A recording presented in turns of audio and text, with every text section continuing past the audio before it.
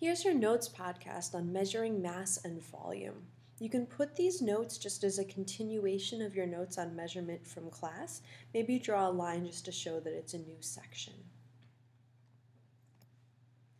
So first we're going to go over how to measure volume. Just a reminder, volume is the amount of space that an object or a substance takes up. Look back at your measurement notes to see if you have this definition there, and if you don't, you should put it here now. Otherwise, maybe just put a star or something next to it. Now here are the units we use for volume. We use the cubic centimeter, and you can see how that's written, uh, centimeters cubed with a little exponent. We use that for solids, liquids, or gases, um, mostly for solids. And then we can also use the liter or the milliliter for liquids or gases only. So the volume of a solid should never be um, expressed in liters or milliliters. You'll notice that I use the capital L for liter. Um, and the reason I did that is just because a lowercase l sometimes looks like the number one. Um, so it's totally correct to use a lowercase l or an uppercase L for the L in liter or milliliter. Now, we can convert between these units really, really easily um, because a milliliter and a centimeter cubed are exactly the same size. Um, so that allows us to go back and forth between the units very, very easily. So first off, here's how you get the volume of a liquid. And just a reminder, you should use a graduated cylinder like the one that's pictured. And when you use it, you should get at eye level with the cylinder. And I saw some of you guys doing this when you did our liquid layers challenge. Then you're going to read the bottom of the liquid curve. That curve is called the meniscus. Okay? Um, and when you look at the bottom, that's where you're going to find your reading.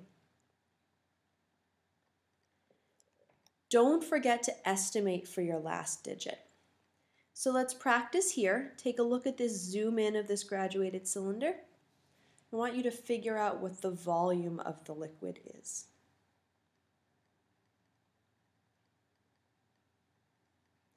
Okay, I got 43.0. Now, why is it 43.0 and not just 43? It's because the lines go to the nearest 1 milliliter and I think it's right on the line. So my estimated digit goes to the 10th and it's going to be 0. So 43.0 milliliters. Okay, so then how do we get our volume of a solid? If it's a rectangular shape, then we can do length times width times height equals volume. And if it's an irregular shape, then we would use the water displacement method. I'm going to go through that on the next slide. So for water displacement method, first you put some water in a graduated cylinder and you record the starting volume.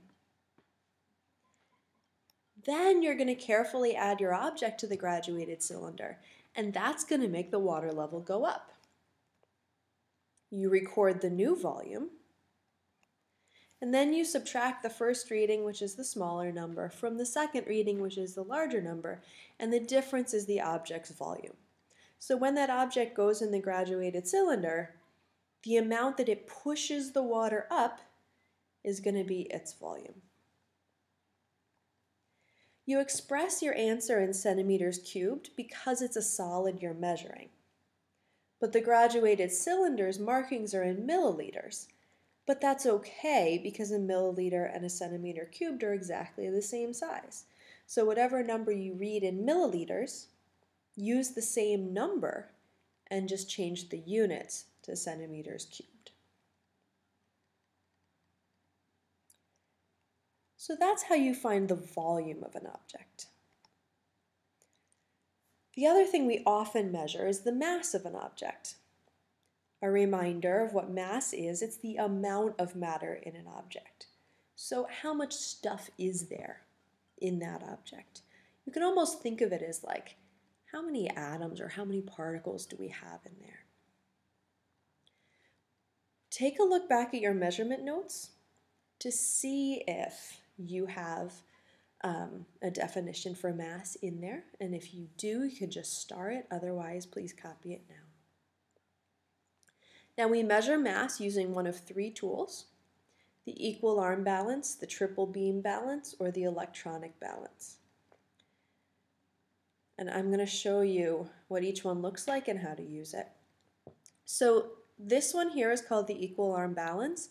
We won't be using it in this class, um, but it's important for you to know what it looks like just in case you're ever asked, what do I measure with this thing? The way you use it is you put an object of known mass on this side, and then you'll put your unknown object on this side, and you keep on changing your, your known masses until it balances evenly. Once they balance evenly, you can add up all your known masses here, and you know what the mass is. The triple beam balance might be a little more familiar to you. You might have used it in sixth grade. So here you put your object on the pan of the balance, and then you move the sliders until it balances perfectly. And when it does, you read the sliders and it tells you the mass. We are also not going to be using the triple beam balance in this class this year, but it's important that you know it's for mass just in case you're ever asked.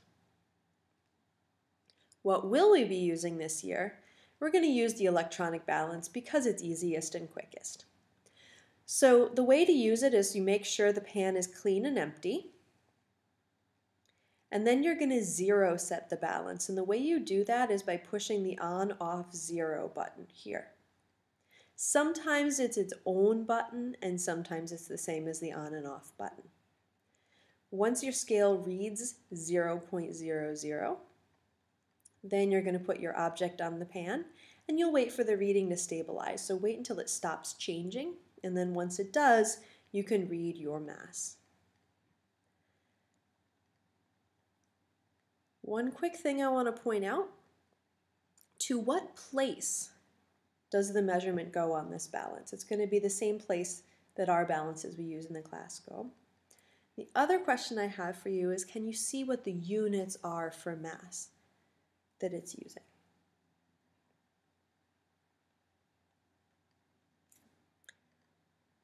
Okay, so for the first question, the place, here is the point, that's the tenths, that's the hundredths. So this scale can measure to the hundredth of a gram. And that's the answer to the second question. The units for mass are grams. If you don't have written down that the units for mass are grams, please add that. G is for gram. And other common units are kilogram, which is kg, or milligram, which is mg. All right, so there's an overview of how to measure volume and mass. Let's just do a quick check for understanding.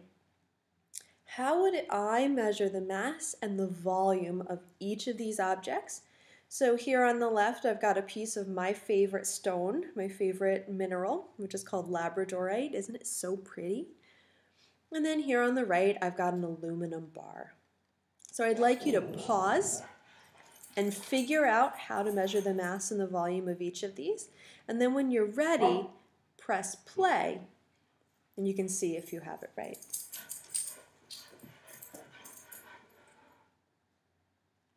Okay, so first off, for the Labradorite, um, you since it's an irregular shape.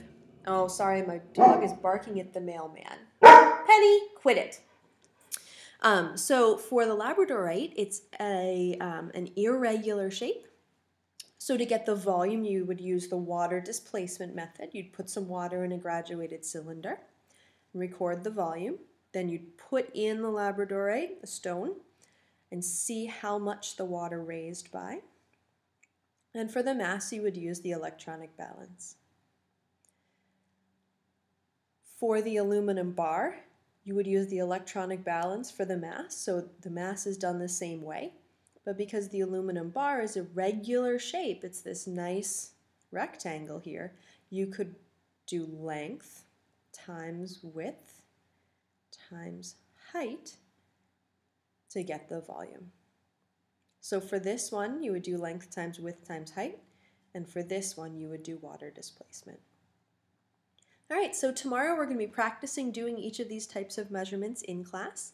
Um, have a good night, and I'll see you then.